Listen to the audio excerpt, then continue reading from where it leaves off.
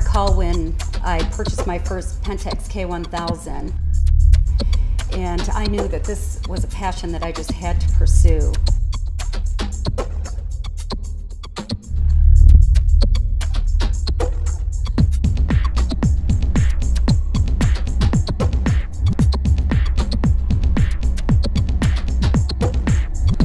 I was actually uh, very excited to find out that this process could come to fruition by taking one of my photographs and applying it to a chair.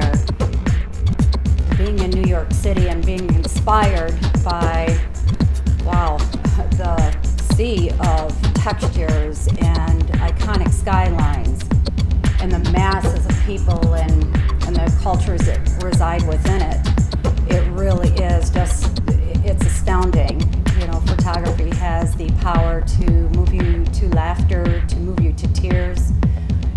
uh, be able to seize the moment for a reference point in time.